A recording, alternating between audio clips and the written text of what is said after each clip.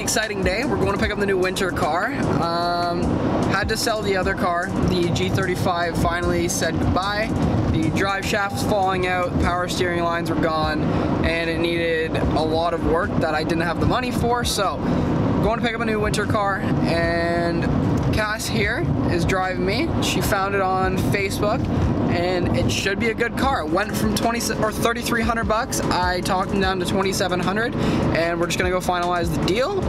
Probably drive the car home tonight. So, see you guys when we get there. Peace.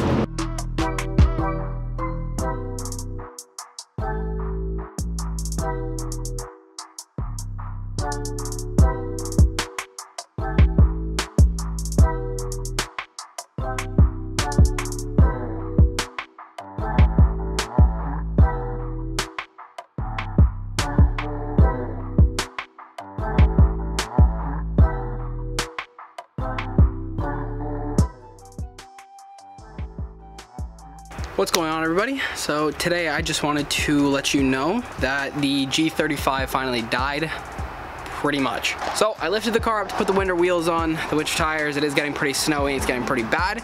So throwing the tires on and when we lifted it up I went to check underneath it and it needs a, quite a few things more than I, what I had expected in the first place. So now that we lifted it up, we, I now know it needs a compression rod, upper ball joint, uh, lower control arm, a wheel bearing, it needs a power steering rack and the recirculation lines around it. It needs a drive shaft and that's pretty much it underneath the car. All of the suspension parts I probably could have dealt with myself over um, some time, but the main thing is the power steering rack and the drive shaft, just because the drive shaft, if it does let go while I'm driving, say on the highway at 100, it'll completely tear through the engine block and all of that, which I just can't deal with. I don't have the money to fix or buy another engine or swap it or anything like that. Power steering lines, they continuously leak on my driveway. Uh, it just makes it unsafe to drive because the power steering does cut out in the middle of driving. It makes it real hard to turn the car. So I am going to be selling this car. I am looking for a new car and I'll probably be showing you guys that right now. Just while we can, I wanted just to show you guys the last look at the G35. I know you guys didn't see much of it, but I've owned it for a couple years and I am gonna miss it. So this is more of just my own tribute for it and time for new things.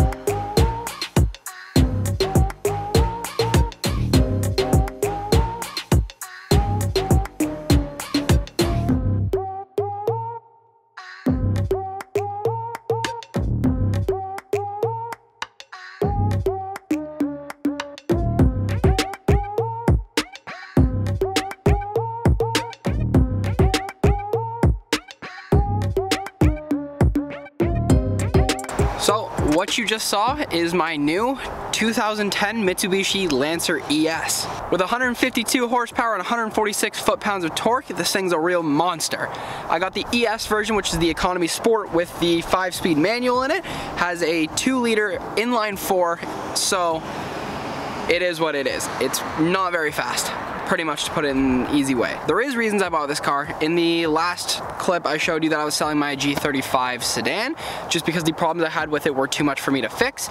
But I found this car for a good price because I did need something to get to work and back and I didn't want to bring out my 37 just because that is my summer car and I don't want it to get rusty in the Canadian weather. I picked this car up for $2,700 which is a pretty good price for what it is. The mileage is high which I would rather be lower. It's at 268, I believe, at the moment. Uh, the car I got for a pretty good price because what it is, it has absolutely no rust on it. It has new brakes all around, has new tie rod ends, passed safety with pretty much no problems. It, the paint is clean, there's no rust on the surface. I do need to touch it up a little bit, but for what I got it for, it was a great deal. So yeah, as I was saying, there is absolutely no rust on the car underneath or uh, on the paint. It is super clean. I see if I have any pictures of it from when I lifted it up, but Underneath is really clean. There's no rust anywhere, which is nice to see considering it is a 2010. These cars would usually rust by this point in 10 years in Canada. There, it, the car drives amazingly. There is no problems to, to complain about at the moment. There, there's nothing I can complain about for getting it for $2,700. As I said, there is new brakes on it. There's a new tie rod ends on it that has a Borla exhaust system on it, which sounds pretty good. I'll show you in a couple minutes, but it does sound pretty good for what it is for a four cylinder.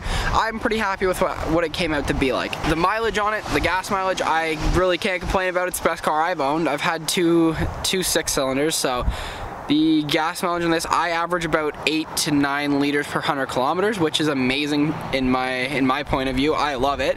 Not have to pay that much for gas. Plus, it only takes the regular unleaded gas, so I'm paying 50 bucks to fill it up, and I can't really complain at all. The car is comfortable, so I'm good with driving in it for a while, even though I'm only going from work to back, so can't complain about that. Again, there's not much I complain about this car. So, so the only things I really can complain about is the fact that it needs a cat. It has a small exhaust leak and it has higher mileage than what I would have liked, but uh, for what it is, I'm pretty happy with how it came out. Uh, this week it's going in for a few recalls that it has. I think it has three outstanding at the moment. One for the windshield wipers because the runoff of the water is going directly on the motor and it's starting to seize it up early. One's for the underneath the car. The cross member starts to corrode very easily, so those are two. I can't remember what the third one is, but it is going for three recalls in at the moment. So um, at the moment, I don't really have any future plans for the car. I may, may put some small mods on, such as like mud flaps, lights, stuff like that on. But at the moment, there's not much going on. I, I gotta put new tires on for the winter uh, because these all seasons aren't gonna cut it for the winter that's been, that's gonna be happening. There was a little bit of snow on the ground a little bit ago and I was slipping and sliding all over the place. So got to get tires put on this as soon as possible. They're going to be mounted I think this week, hopefully, and then it should be ready for winter. Uh, I'm hoping I'm putting mud flaps on it at some point. I would enjoy, I do like the mud flap look on this car and I just need to do some paint touch-ups. That's all I really got to do to this car. If I decide to do anything more like mod it any later down the road, I'll happily do it, but at the moment there's not too many too many things I'm planning to do just because I need to keep it slightly reliable. So I've owned this car about two weeks now. Uh, I really enjoy the car. It is nice, it's comfortable, it drives beautifully. The only problem is that it is slow, but it's a winter beater. I can't ask for too much, so what it is, I'm happy with how the car stands at the moment. And the only reason I bought the car is because I needed a car to get from work to back, and my other car had too many problems. I'm gonna miss my G35, I really am, because I did enjoy that car a lot, but I needed to get something that, that isn't gonna cause me as many problems, I hope. It's a newer car, not as many problems on it at the moment, and I'm really hoping it stays that way just to keep me reliable and easy to get from here to work to back and blah, blah, blah. But there will be some videos coming on this car with the small things I want to do that I should have told you about. I might debadge the car as well, just for that little extra, to, the little extra flair that it makes in my car. But I'm going to show you the exhaust right now, and then we'll, we'll go from there.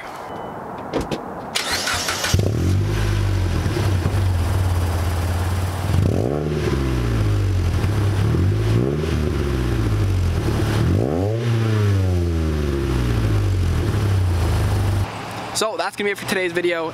If you liked it, please leave a like as it helps me and the channel out a lot. If you wanna see more of my content, please feel free to subscribe.